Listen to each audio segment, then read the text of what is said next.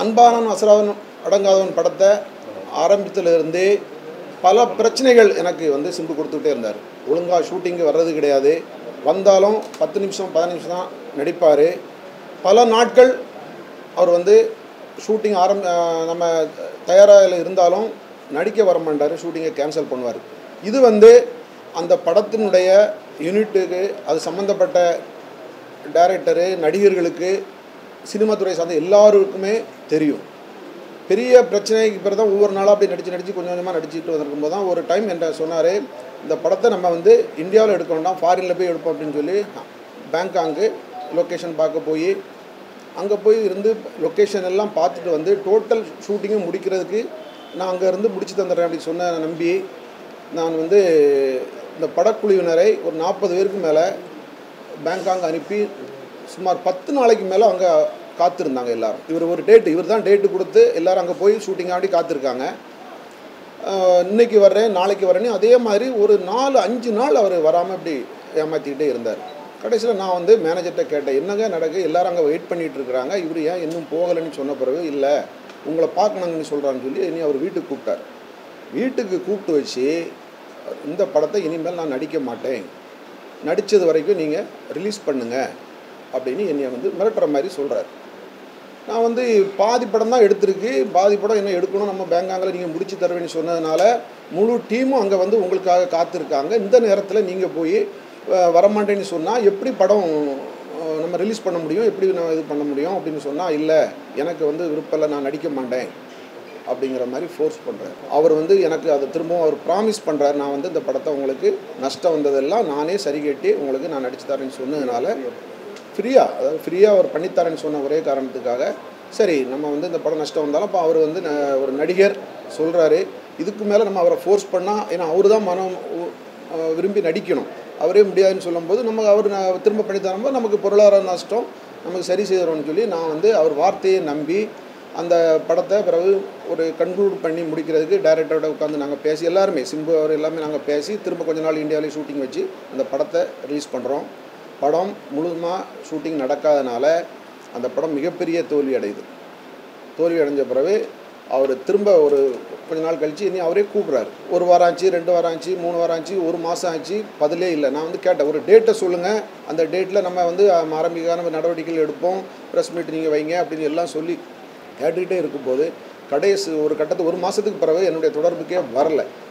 Manager வந்து நாலு மாதமாக அவர் வீட்டுக்கு போய் போய் பேசுகிறாரு கேட்குறாரு ஒரு பதிலும் அவங்க சரியான பதில் சொல்லலை. என்னால் அதற்கு பிறகு எனக்கு வந்து டிஸ்ட்ரிபியூட்டர் சைடில் இருந்து இந்த லாஸுக்காண்டி எனக்கு ரொம்ப ப்ரெஷர் கொடுத்துக்கிட்டே இருந்தாங்க. அந்த டைமில் அவங்கள்ட்டையும் நான் சொல்லியிருந்தேன் சிம்பு எனக்கு அடுத்த படம் பண்ணித்தராரு அதை வந்து உங்களுக்கு இந்த கடன்கள் எல்லாம் உடனே நிவர்த்தி பண்ணிடலாம் அப்படிங்கிறத சொன்னனால அவங்க ஒரு நாலு மாதம் வெயிட் பண்ணாங்க.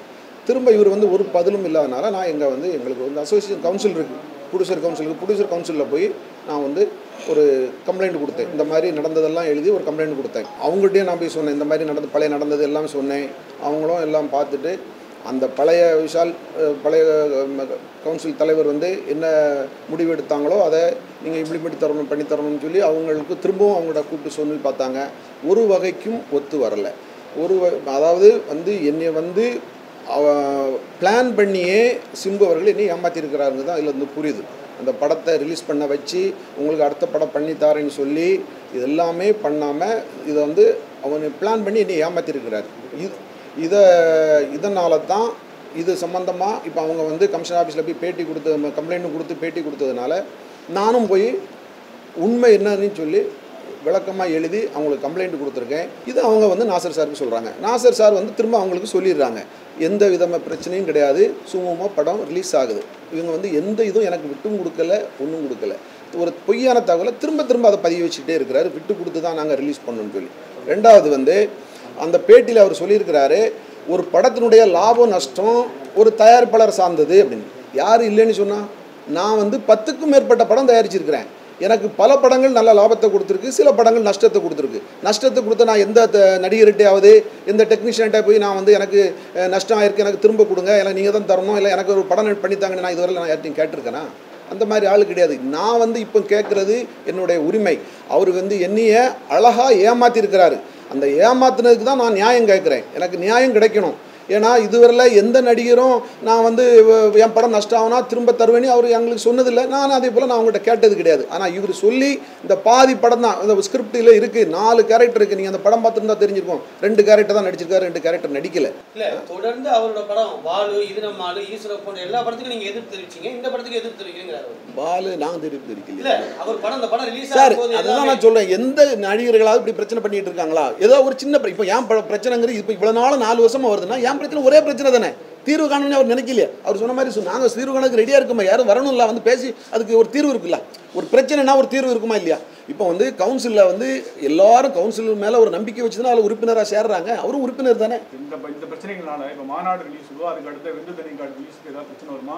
இதை முடிச்சுட்டு தான் அந்த சார் அது நான் சொல்ல முடியாது. என் பிரச்சனையை சொல்லியிருக்கேன் அவங்க வந்து இதுக்கு வந்து மாநாடை ஸ்டாப் பண்ணுறாங்கன்னு சொல்கிறாங்க ஸ்டாப் பண்ணலை அப்படின்னு சொல்லி நான் வந்து அவர் அந்த படத்தினுடைய தயாரிப்பாளரே சொல்லியிருக்காரு. நான் தீபாவளிக்கு வரல இருபத்தாந்து இது போகிறேன்னு அவர் சொல்லியிருக்கிறாரு. அப்போ யார் அவருக்கு த தடை பண்ணுறாங்க இவங்க வந்து நாங்கள் என்ன சொல்கிறோம் இந்த பிரச்சனைக்கு தீர்வு காணுங்க. ஆனால் வர்றோம் வர்றேன்னு சொல்லிட்டு வரலையே. நாலு வருஷமா இதே இழுத்துட்டு இருக்காரு. எங்களுக்கு ஒரு தீர்வு சொல்லுங்கன்னு தான் நம்ம சொல்லிட்டு இருக்கோம். இப்போ அவர் வந்து இப்போ கட்ட பஞ்சாயத்து பண்ணுறாரு அது பண்ணுறான்னு சொல்லியிருக்காங்க. கட்ட பஞ்சாயத்து கிடையாது ஒன்றும் கிடையாது. எனக்கு இவ்வளோ பிரச்சனை இருக்குது அவங்க தான் பண்ணி தரணும்னு நான் சொல்லியிருக்கேன். காம்ப்ரமைஸுக்கு தான் கவுன்சில் பேசுது. அது சார் நான் இருக்கிறேன் இல்லைங்கிறதே கிடையாது. நான் வந்து என் பொறுப்பை இப்போ கவுன்சில் எங்கள் சங்கத்தில் கொடுத்துட்டேன். அவங்க முடிவு பண்ணி அவங்க கூப்பிட்றாங்க. அவங்கள்ட்ட வந்து உட்காந்து பேசணும்ல. கூப்பிட்ற நேரம்லாம் வந்து ஒவ்வொரு பதிலாக மாற்றி சொல்லிட்டு சொல்லிட்டு அவங்க போய் உட்காந்துட்டு தாங்க படம் ரிலீஸ் பண்ண தான் அப்புறம் திரும்ப கேட்கும் போது தான் திரும்ப இந்த மாதிரி பிரச்சனை பண்ணுறாங்க ஒவ்வொரு டைமும் இவங்க வந்து இவங்க தான் மிரட்டுறாங்க கவுன்சிலையும் விநியோக சங்கத்தையும் இவர் மிரட்டிட்டு இருக்காரு. இந்த மாதிரி ப்ரெஸ் மீட் வச்சு அது இப்போ இல்லாத குற்றங்கள்லாம் சொல்லி மாஃபியா அப்படி இப்படின்னு சொல்லி இவர் மிரட்டுறாரு.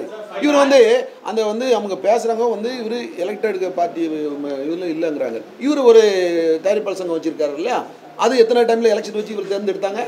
ஏழு பேர் சேர்ந்து ஆரம்பிச்சாங்க. அதில் ஆறு பேர் ரிசைன் பண்ணிட்டு போயிட்டாங்க. இப்போ அவங்க குடும்ப உறுப்பினர்லாம் போட்டு பேர் வச்சிருக்காரு. அப்படி ஏன் வச்சிருக்காரு இவர் அவர் பையனுக்கு கட்ட பஞ்சாயத்து பண்ணுறதுக்கு தானே அதை வச்சிருக்கிறாரு? வேற ஆள் இருக்கிறவங்க வேற என்னதான் பேசுறாங்க? எனக்கும் சிம்புக்கும் தான் பேச்சுவார்த்தை நடந்து நான் தான் எல்லாமே பண்ணி பண்ணியிருக்கேன். அவர் தான் எனக்கு ப்ராமிஸ் பண்ணியிருக்கிறாரு.